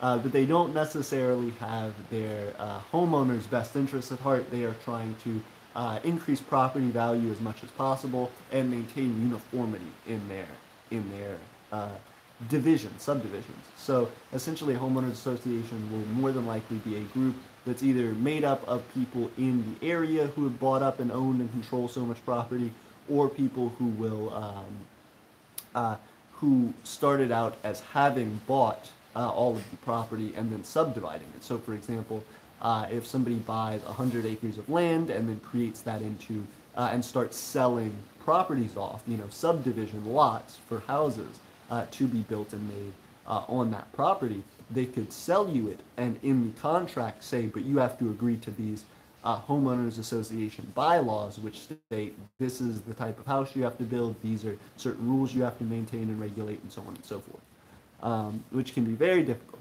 Nate says AfriCrypt is the biggest crypto uh, scam ever. Absolute tragedy. Absolutely, and that's why money transmitters laws are so important and have come to become uh, the gold standard for uh, you know valuing whether or not a currency is legit or not. Uh, the great Asteria says, uh, how, how are things going between Aeternia and Stamaria? I've seen Stamaria's condemnation video. Um, they're not going at all. Uh, you know, how are things going? We, we don't speak to each other. Uh, Stamaria condemned us. Uh, we're still not 100% uh, sure why exactly. Um, we have done everything that we can to abide by our agreement. and so we're just allowing that to happen. Uh, they've condemned us. Uh, I'm sorry that they've condemned us. That sucks for them. Uh, but we're continuing to move on. Uh, we're still going to uphold our agreement uh, and do it in the time that we establish, and we'll move forward from there. Uh, it seems that Aeternia, wants nothing to do with us. and at this point, because of their condemnation, I don't think we want any future business with them as well. So just that's what happened. they, they, you know, decided to badmouth us. And, now we're continuing forward. Tiberius says cryptos are likely to go belly up if we enter into a full recession. Um, I I agree. A lot of them are, uh, but I, I don't know. I, I still think cryptos will be around for a very long time. Lecho says um touchy subject. I'd say, but it's up to AP if he wants to talk about it. Um, I don't think it's a touchy subject at all. If you're talking about Stamaria, I don't think it's a touchy subject at all. Again, they condemned us. Uh, I feel insulted by that. I'm not sure uh, fully why they decided to do that. Uh, but they decided to do that, and I think it was wrong on their part. Um, we're moving forward. Nate says uh, they probably ended all relations. Listen the discussion there. Uh, agreed. Uh, Tiberius says the U.S. at least doesn't have monetary notes tied to gold. Nixon did away with that in 71 question mark or something like that. Non-gold tied currencies will suffer. Uh, I disagree. Uh, I don't believe, you know, fiat currencies are the future. They are the maintained standard for uh, currencies, and there is no reason to have a, a currency backed by anything. Uh, fiat currencies uh, are the modern understanding of economics and the way that uh, societies move forward, especially when scarcity of resources changes the value of monetary systems so dramatically. People's work, their efforts, and the gov- governments that subsidize those efforts are ultimately the true sources of value for any currency, not something that the currency is backed on, like gold or silver or whatever. That's ridiculous.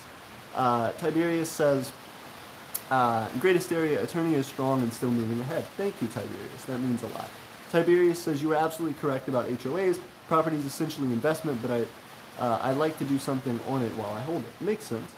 Francisco says, AP, we won. Uh, congratulations. I, I still am confused about your conflict, and I, I don't know that anybody really won. Um, uh, Vincent says, I don't listen to HOAs personally. I tell them to pound sand. Uh, that makes sense, but at the same time, if you purchased a property on an HOA, uh, you know, development and you signed a contract that says that you will agree to their things, they can take you to court over it. Like, if, if you're in a position where a homeowners association has control over your property, there's not really too much you can tell them. Oh, pound set, like like I don't have to listen to you because they they can you know depending on how strict your contract is, uh, they can take you to court over it, and you can uh, be forced uh, significant fines over that and consistent significant fines over that. So uh, I, if you're in a position where you uh, are forced into an HOA agreement, first off, if you don't like HOAs, don't sign. Don't don't sign the agreement. Don't move on to that property. Um, but if you're in a position where you already have, you probably just have to listen to it. Unfortunately. Um, um, Asteria says, "Well, my parents rent a house, so we don't own the house, so we haven't signed anything." Agreed. Uh, and of course, you may not, uh, then that's interesting because what probably happened is your family is renting it from the person who owns the house. The person who owns the house probably purchased the house from the group who has the homeowners association. So if the homeowners association comes and puts something on your door which says, hey, you're not abiding by homeowners association policies, you have to start abiding by those, and your family says, we don't care drops, all the homeowners association has to do is go to the person who owns the property and say, hey, uh, your subletters, the people who are renting from you, uh, are not abiding by our homeowners association policies. So you're right, we can't sue them because they didn't sign a contract with us. They signed a contract with you. We're going to sue the owner, and we're going to collect those fees from the owner. And at that point, the owner would probably either one, try to evict your family, which would suck, or two, would pass all of those fees down onto you. Uh, your family may have signed a contract with the renter, uh, with the uh, person who owns your home, who you're renting it from, that says something equivalent to, we will agree to all of these homeowners association bylaws. If you didn't, then agreed, that's a stronger case for you, uh, but that person still may have a clause in their thing that says, uh, if any, if any uh, fees are established, that those fees are going to be paid by you, or they could have established something equivalent to, uh, well, uh, at any time we can cancel this rental agreement and, you know, uh, move to evict, which uh, they may end up using a handle. So uh, that's not good. I certainly wouldn't recommend it, uh, and I hope that doesn't happen to your family. But if the, either your family directly or the owner of the, the property uh, has agreed to homeowners association bylaws in a in a contract that they did to purchase the property, somebody's subject to that, and eventually it, it will come down the line. Um, Francisco says uh, Rhodesian dollars pegged to Kuwaiti dollar at a rate of one to one. Very cool. Uh, that's the same thing with the U.S. dollar and the uh, Aeternian note, the imperial note. Uh, our imperial note is uh, pegged one to one to the U.S. dollar, such that it costs one U.S. dollar to purchase one imperial note, minus uh, taxes and uh, shipping costs to send them to. Um, Great Asteria says, uh, the Kingdom of Great Asteria just opened the arena tournament battles. Uh, we are accepting all micronations. Very cool. Tiberius said, I need to go. Uh, bye, everyone. Be well, everyone. Uh, AP, I'll talk with you soon. I appreciate the comment and content and comments. It was good to see you, Tiberius, and I can't wait for our next conversation. Uh, Nate says, congrats, Fran- uh, Franco. Viva Cristo Rey. Ooh, Retro says AP, it's sounding very windy. Yes, uh, we're receiving a lot of rain right now. I'll see if I can't move in. Uh, let me see if I can do that. Uh, Nate says AP should buy a mic for his phone. Retro, uh, shall we start a fundraiser? Uh, and Francisco says thank you very much. And then Nate says JK. I appreciate it, guys. I am going to try and speak a little bit closer to the mic so you guys can hear me.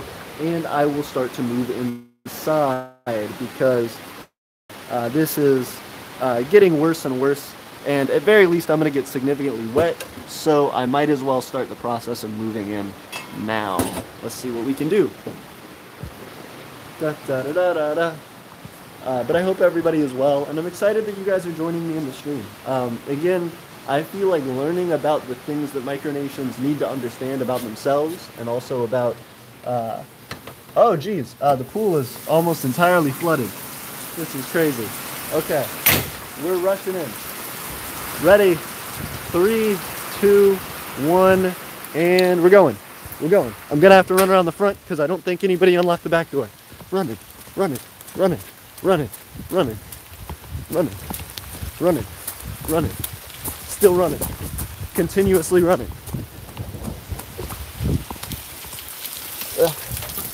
All right. And we're back.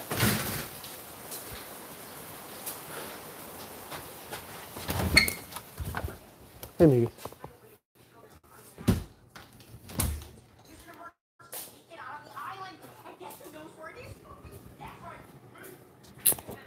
What's up? Okay.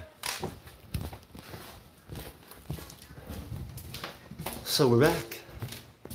Headed into the back so I can talk to you guys. I hope this sounds a little bit better. It's certainly a lot quieter. Um, let me see if I can't set up, and we will continue the conversation. I'll move. Me move here.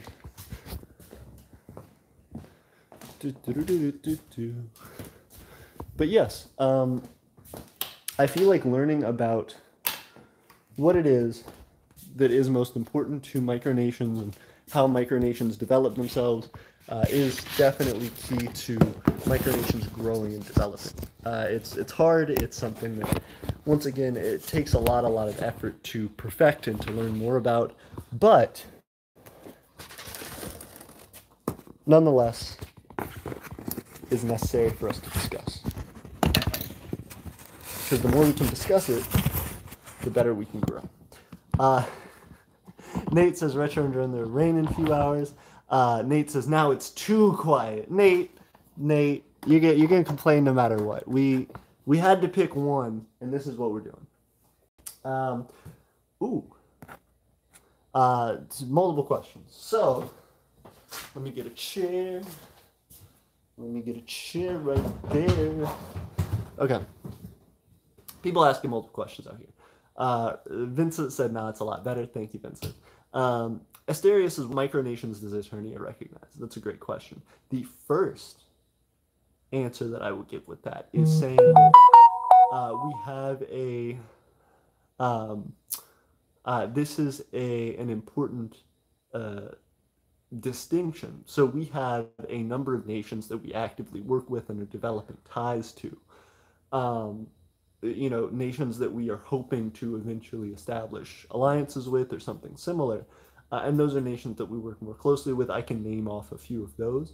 But for recognition, uh, we really don't have like official declarations of recognition or or uh, or uh, foreign relations or uh, you know a lot of the different uh, declarations that micronations come out with. A lot of micronations will say, you know, we have entered into foreign relations with so and so country. Uh, we have created a declaration of friendship or a declaration of mutual recognition with with this and this micronation. We don't really do that. Um, Aeternia recognizes any micronation that calls themselves a micronation. Uh, it's not that you know, if if a if someone comes to us and says we're a nation, we don't say no, you're not, because we don't recognize you as a nation. You're not a nation. That that's ridiculous. Um, at that point, anyone can point fingers at anyone and say you're not a nation. So instead of doing that, Aeternia recognizes any nation that recognizes themselves. Now, does that mean that we're going to work with every single micronation? Does that mean that we consider ourselves friends or allies with every single micronation? Of course not. Uh, but that is different. You know, uh, you can pursue your own goals, and we can recognize you as a nation simply by you saying we're a nation and this is what we're doing. Uh, that's just us saying, okay, we we understand what you're saying. Um, however, there are very strict requirements that Aeternia has for the nations that it actually works with. Uh, and that's something that's entirely different, right? We want to establish um, specifically uh, economic means uh, of mutual benefit between ourselves and other nations. So whenever we start to establish connections to other nations, a lot of the time the thing that we're talking about is, well, what are some things that Aeternia can provide to your nation and that your nation can provide to Aeternia that would give mutual benefit? And that's hard. That's not something that uh, is uh, easily established or developed most of the time.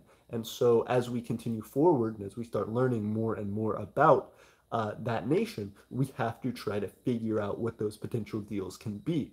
And of course, a lot of the time that can connect to uh, just our establishment of creating content on the internet. Sometimes that, you know, if a nation is local enough to us, transporting goods or, or creating services, working with each other.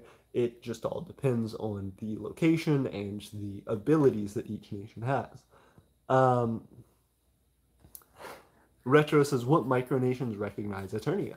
Um, I'm not sure, to be honest with you. I again know that there are a number of nations that we are actively working with uh, that I, I, think support us. There are also a lot of nations in our Discord who know of us, so I imagine to some extent or another they recognize us. But again, because Aeternia doesn't enter into mutual treaties of recognition and stuff like that, I wouldn't have a good count on that. Uh, and I would say to us that's really not so important uh, we're out here broadcasting what we're doing and trying to explain to people what we are and what we're doing. And so uh, it, we don't really seek recognition from other nations. We tell you we're a nation. We tell you this is what we're doing. And if we have some way uh, that we can benefit each other, then we will move into uh, a more um, official declaration of, of of development, being you know working with each other through an alliance uh, or some sort of uh, trade deal.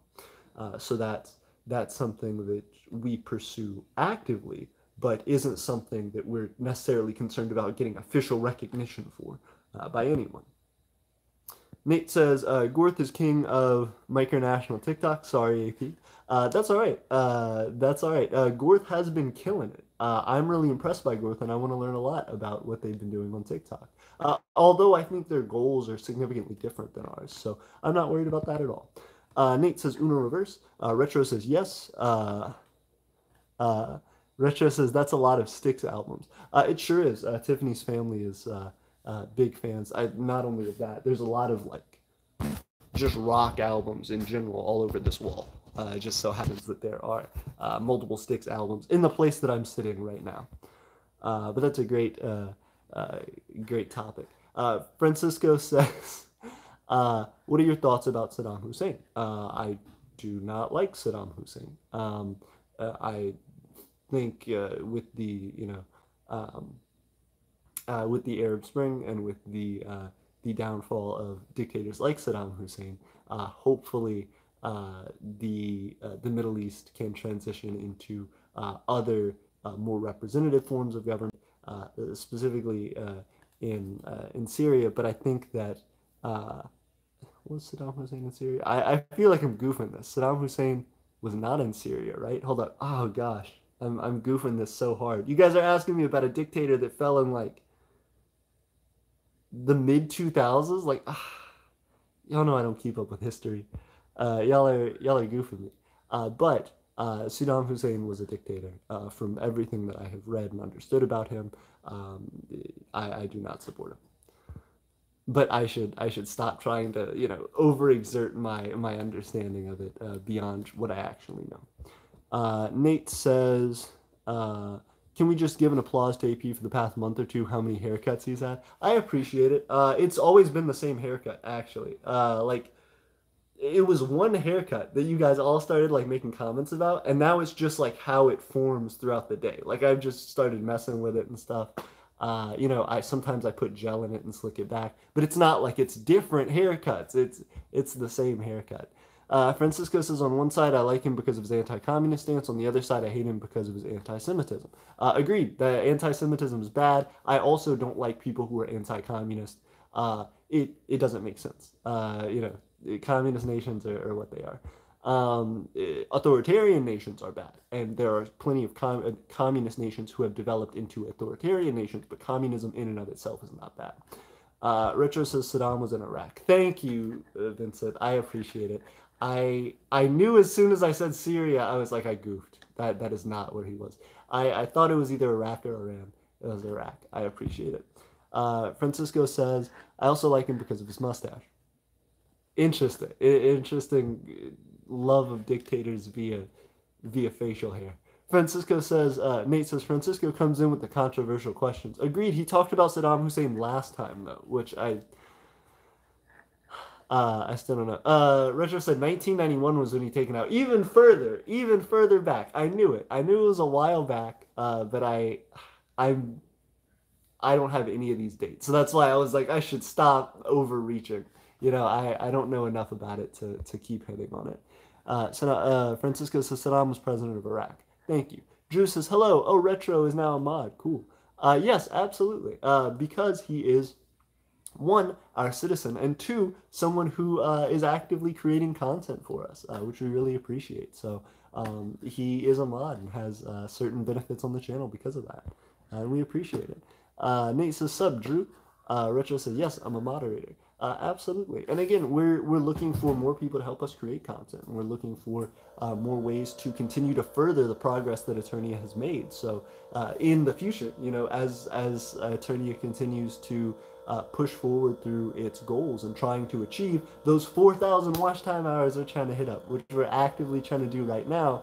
Uh, you all can talk to me about that and uh, you know what your interests are. Again, I need to get back to Matt uh, about his uh, business and about your business. I believe you're connected to it, Drew. Um, and I, I want to, to start expanding that as well and discussing that a little bit further. my biggest interests have been trying to understand a little bit how that can mesh with our current goals, and I think that's a little bit of a, a struggle for me, but uh, I'm absolutely happy to continue discussing that. Uh, Francisco says it was in 2003 when the U.S. invaded Iraq. Thank you. Nate says, well, uh, having his username being Franco, yeah, that's true. Uh, with the with the you know dictators. Retro says, I mean, we are old uh, AP, but we weren't around that long, so I don't blame you for not remembering. I appreciate it. Yeah, yep. Uh, the 20s, uh, in you know, I'm I'm 24 about, uh, and so I'm uh, I'm getting up there. But yeah, I I do not, um, I don't have an active recollection of the fall of Saddam Hussein. Uh, I heard about it and learned very little uh, but I, I really, it's not a topic that I know enough about to extend upon. Other than that, I know he was a brutal dictator, uh, an authoritarian, and was somebody who, uh, like you said, was uh, anti-Semitic. So, uh, not not supporting that at all. Um, but yeah, I, I really appreciate everybody joining us. I know that the conversation got a little bit off topic, but I really do want to stress that discussing what a nation is, what a micronation has to offer, and what current state of affairs is is really really important because it teaches others outside of the community what it is that we have to offer and what it is that we actually are. There is a huge disconnect between what the micronational community thinks micronations are and how individual micronations view themselves versus what the rest of the world thinks of micronationalism and how we are identified in some respects, that shouldn't matter at all. You should develop your nation regardless of what anybody thinks of it. That being the case, though, for people who are trying to grow their nation larger, for people who are trying to seek more, uh, more extensive forms of recognition from the outside community, that 100% should be something that is uh, viewed and understood as a, a necessity uh, trying to bridge that gap between what other people think of the community and of your nation versus what you do. Um, Retro says we briefly went into school in wars of the. We briefly we went briefly in school in wars of the 20th century class and U.S. history. Hey, very cool. Um, well, I, I certainly appreciate that. I, I appreciate everybody's commentary and takes on specifically uh, the micronational topic that we've been talking about today, um, and just asking those questions about you know what it is that a micronation is, what it is that Aeternia uh, is, and what its kind of uh, cultural and historical connections are, uh, why we're doing what we're doing, how to develop currencies, things like that. All of these ultimately are questions which micronations have to answer for themselves, but I think also mirror the larger questions about what micronations are to the outside community. Uh, Vincent said, Oh, I thought of a question. Uh, so, how do you think geopolitical situations going on right now could affect future micronations being made or formed out of discontent of the world's situation? I think our community is actively growing. I think there are a lot of people who are very upset with the way that the world is headed. And I think that on an individual scale, you know, whether it's the Ukraine, whether it is uh, increased prices for things like gas, uh, economic downturns all over the world, um, whether that's uh, you know uh, political instability in their own country, whatever it may be. People are upset, and people are looking for a way to develop something better than what they had previously and what they're actively living in.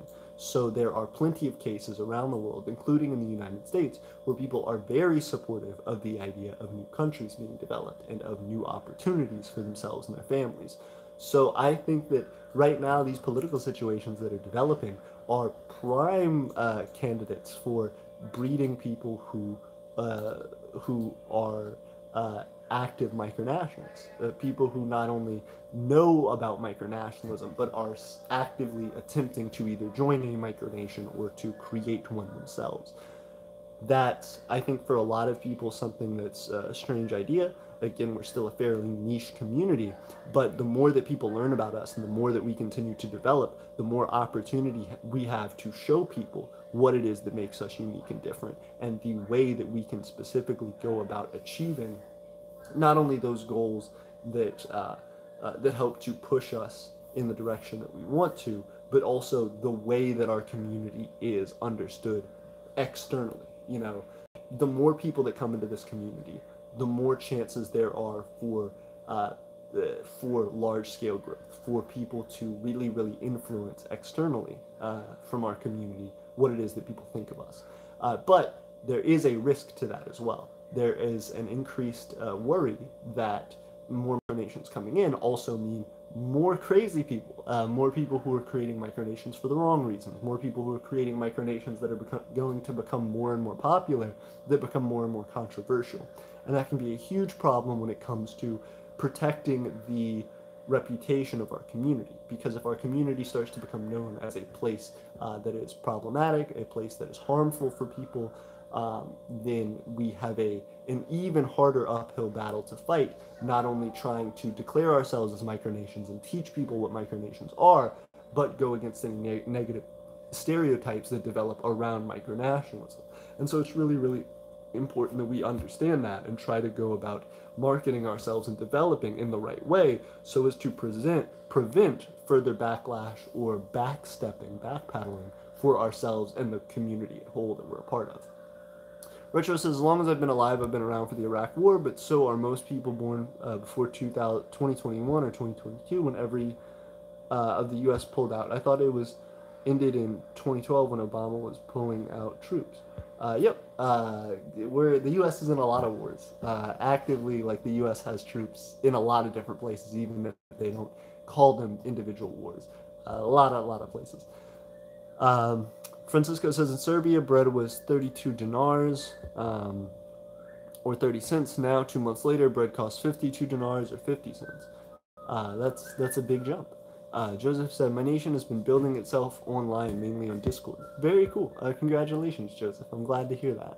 Uh, Retro says, At least food seems somewhat affordable. Food is getting more and more expensive in the US, so is a lot of other things. Agreed. And that's, again, because of rising gas prices. Uh, one of the biggest issues in the US uh, is uh, rising gas prices and rising gas prices, as we talked about in a previous stream, connect to the transportation industry in the US, which the trucking industry is the main way that we get uh, all of our resources and supplies uh, all across the country. So when the price of gas goes up, the price of transportation and shipping goes up. The price of transportation and shipping going up means uh, the price point of individual items at stores goes up, uh, and so on and so forth. Uh, which means you may pay, you know, five, ten percent higher uh, for all of your groceries than you had previously, or even more. Um, Francisco says a minimum wage is 25,000 dinars or $230. Uh, um, that's, uh, uh, or $230 a month. Uh, makes sense. Um, that's, uh, that's significantly lower than the US, but I think what's interesting is, um, I, I don't know enough about Serbia. I would, I would be curious to learn more, but uh, I know in the U.S. the the wage gap is like really really crazy. So even though we have uh, statistically uh, a higher uh, income than a lot of other countries, uh, one we don't have any kind of support systems. So things like uh, you know healthcare, things like transportation, we all have to pay for ourselves 100%. so you know very little if any paid time off from work, very little if any support uh, in any sort of food and any sort of infrastructure. Um, so that that's a huge issue.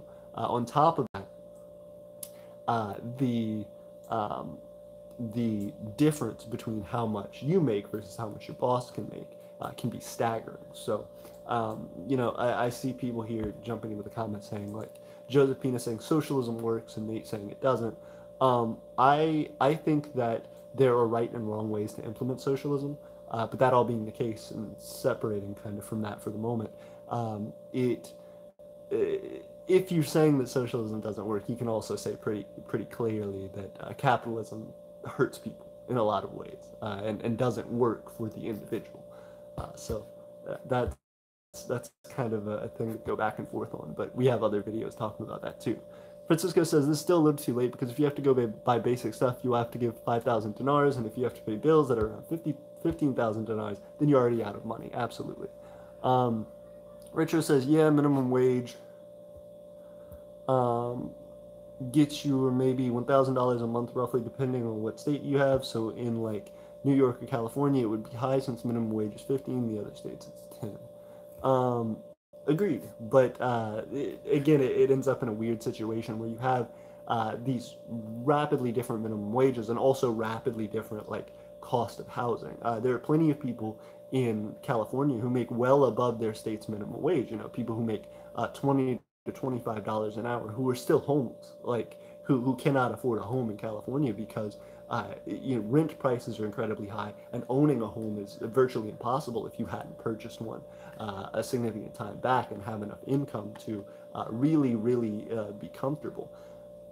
Anybody uh, who is anywhere close to, you know, the um, the minimum wage in California, trying to find uh, consistent housing, is struggling right now and has been for quite a while. it's there is a rampant homeless crisis in um, in uh, states like California and in states like Alabama, we say, oh well, there's you know there's not nearly as much homelessness here, so we must be doing the right thing. You know, our our uh, uh, our uh, 7.25 an hour minimum wage is uh, uh, is is is great. You know, this is working so well. the cost of living is significantly lower in Alabama, but as well, there's this huge issue that you know, there aren't very many urban areas in Alabama. So the homeless people in Alabama are just suffering because they're, you know, out in the middle of nowhere with no support. Uh, or having to stay in these densely uh, these these urban areas which mainly support uh, large scale transportation like highway systems and not you know closely connected uh, high density populations. Tiffany's up, uh, and we have some stuff to do, so I am gonna head out, guys. But I do appreciate everybody hanging out. Um, I'll read the last six comments real quick, and then we will head out. Retro said, "I never understood why Yugoslavia broke up. I'm sure it was for the better. Um, I wish I knew more about history so I could inform you, uh, and so that I could learn more myself, I guess." Francisco said, 1 million Serbs dead, 6,000 uh, dead Croats, uh, 15,000 dead Slovenians, 200,000 dead Germans. Uh, yep, got them. Uh, this is horrible. Horrible. War is absolutely rough. Uh, Nate says independent nationalist groups rose up and took it down. Uh, makes sense. Um, but yeah, I, I, definitely appreciate everybody chiming in and supporting the stream today. Uh, I know this has been a stream that's, again, talked about a lot of different issues, but I really do want to hit on the fact that I brought up in the main part of the stream, the early part of the stream, which is that micronations need to understand how to market themselves. They need to understand what it is that our community is seen as from the outside versus the way that we see ourselves. This is something that is tough. This is something that, again, I, you know, a lot of people in the comments here are, are talking about other things, and I certainly respect the other conversations that we're having, but I think it's because we, we have very little to say on this topic, which is go out and, and talk to people and learn about what they think of you developing a micronation and what it is that they see you doing and why it is that they either support or do not support uh, what you're doing. Retro says, should I stream again tomorrow? Absolutely, Retro. I would love for you to stream whenever it is that you would like to. Uh, it means a lot, and it's legitimately a huge amount of support for us. So yes, if you would like to stream tomorrow, that would be an incredible help to us. Uh, if you want to stream tonight as well, you're, you're, more than welcome to. Whenever you have time and are available and are comfortable doing it, uh, please, uh, whenever you whenever you want to.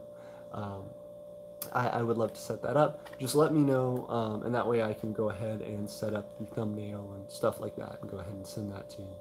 Um, but yeah, I appreciate it. I uh, hope everybody has a good afternoon. Um, I can't wait to continue to talk to you all and to continue to boost these watch time hours up, get closer to 4,000, uh, and hopefully continue to expand the great empire that is Aeternia. Thank you all so much, and until next time, Aeternia forever. Aeternia forever, Vincent. Have a good night, everybody. Or good afternoon. Peace, guys.